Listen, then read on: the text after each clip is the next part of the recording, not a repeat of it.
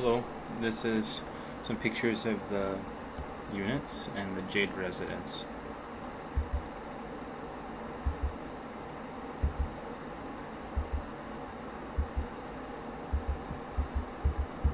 Very nice.